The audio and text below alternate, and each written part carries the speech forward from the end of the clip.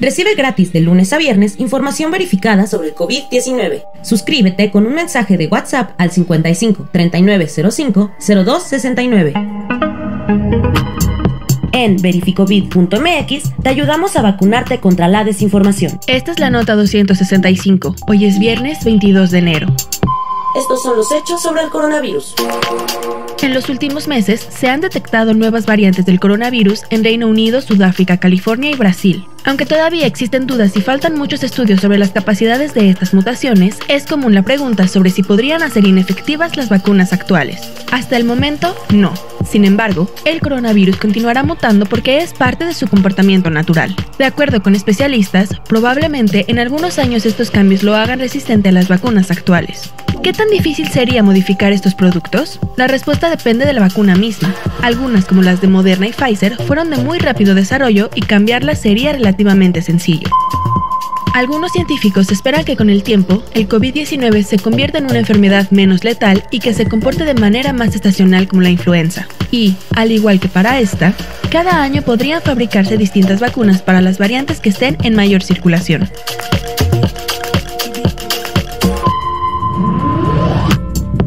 Vacúnate contra la desinformación. Síguenos en Twitter, Facebook e Instagram como arroba COVIDMX y en verificovid.mx para mantenerte actualizado.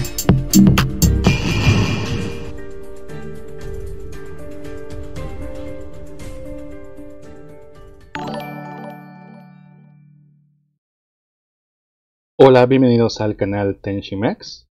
Vamos a comenzar con la información que de costumbre hemos dado desde el año pasado con lo del COVID-19. Primero quiero decirles de que no es verdad lo que menciona la Secretaría de Salud, mencionando de que llevan un año dando sus conferencias. Hay que recordar de que ellos empezaron a, finales de febrero o a mediados de febrero. El primer caso eh, de positivo en México fue el 28 de febrero del, año pasado y en marzo fue el primer fallecido. No llevan 365 días de conferencia como dice Gattel. Esa es otra mentira, una de muchas de todos los días que mencionan en la conferencia. Pero bueno, vamos a 1.900.755 positivos en México. En todo el mundo, el COVID ha ido avanzando de una forma bastante rápida en esta, algunos segunda o tercera ola. En México sigue siendo la misma. Nunca se aplanó la curva nunca se llegó a un mínimo. Así que esto que estamos viviendo es, es la primera, la primera. Y en la primera hay altas y bajas, y esta es un alta en contagios y fallecidos. 158.854 fallecidos según la Secretaría de Salud. Datos oficiales de la Secretaría de Salud. En contraste con los mismos datos oficiales de las conferencias de prensa de la Secretaría de Salud, donde solamente mencionan 147.614 más de 11.000 de diferencia en fallecidos y 1.732.290 positivos, cuando estamos viendo que son 1.900.755. Aquí estamos viendo también una diferencia casi de 200.000.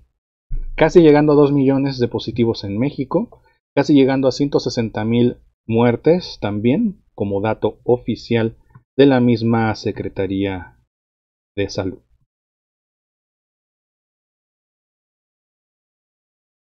El gobierno y la Secretaría de Salud no se ponen de acuerdo porque Hugo López Gatel dice una cosa y el presidente dice otra. Gatel dice que sería una anarquía dejar que cualquiera compre vacunas, ya sea para distribuirlas, venderlas, aplicarlas de forma privada, y que no sería algo por parte del gobierno y sería anticientífico. Esas son palabras de Hugo López Gatel, vamos a verlo en un momento más. En contraste con el presidente que dijo hay que hacerlo para no monopolizar.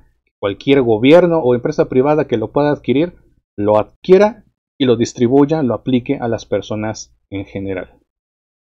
Completamente lo contrario que dijo Hugo López Gatel. Pero ya sabemos que tienen problemas el gobierno con la Secretaría de Salud desde siempre, que nunca se ponen de acuerdo y solamente crean controversias o crean confusiones porque uno dice otra y otro dice otra. Por eso le dicen el chimoltrufio de la de la 4T. Pero bueno, vamos a ver esto. Esta es la información actualizada de lo que dijo el chimoltrufio de la 4T, así como lo mencionan, en diferentes medios. así como muchos adjetivos calificativos que le han puesto. Vamos a ver lo que afirmó, lo que dijo, lo que aseguró, diciendo que se convertirá en una anarquía. Todos ya tuviéramos la vacuna. Así de ilógico es Hugo López Gatel. En vez de eso, cada quien empieza a velar por sí mismo, en esto que estoy comentando, el sí mismo sería cada entidad federativa, entonces tendríamos alguna entidad federativa que quisiera vacunar a jóvenes y otra quisiera vacunar a adultos mayores y una quisiera vacunar en zonas rurales y otra quisiera vacunar a trabajadores de cierto sector. El impacto positivo, el efecto positivo de una estrategia nacional se diluye porque cada quien hace un modelo de operación diferente y se aleja de objetivos científicos, posiblemente para converger en otro tipo de objetivos, no digo que ilegítimos, sencillamente cada quien el suyo. Porque entonces cada quien va por la suya y no estamos hablando de una estrategia de Estado, del Estado Nacional, que se llama Estados Unidos Mexicanos, sino como si no fuéramos un país y fuéramos simplemente una comunidad desordenada, anárquica. Anárquica. No, Hugo López Gatel, no somos conejillos de indias, no somos experimento científico para tener un orden para una vacunación en el cual como supuestamente una estrategia lo están haciendo, no sirve de nada.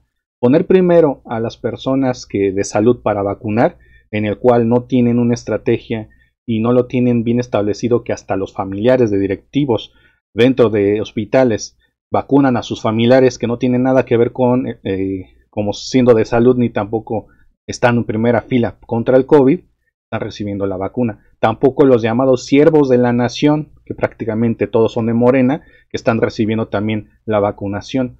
No. Todos tenemos derecho de al mismo tiempo ser vacunados. Todos. Porque la vida de cualquiera está en peligro con el COVID-19. Cualquiera puede contagiarse y cualquiera puede morir de COVID. Las estadísticas dicen que en cualquier edad hay muertes por COVID, por complicación de COVID. Y eso son de cuestiones genéticas o cuestiones de enfermedades preexistentes. Y no solo por ser gordo, como dicen, no solo por ser este, hipertenso, no solo por ser, este, no solo por tener esas comorbilidades, como mencionan, para morirse o complicarse por tener COVID. Cualquiera podría morirse pensando que puede soportar la, la enfermedad. Ha habido casos de todo tipo en el mundo y en México. Todos tenemos derecho a la vacuna ya. Y que todos y de cualquier edad se distribuya sería una estrategia de la mejor que México siempre ha sido ejemplo o antes había sido ejemplo en el sistema de vacunación con cartilla. Era un ejemplo en el mundo. Obviamente, para niños, ¿no? En este caso se puede aplicar también para adultos, donde se puede aplicar la vacuna de forma rápida. ¿Cómo? Pues como cuando se organizan para elecciones, por ejemplo, para votación.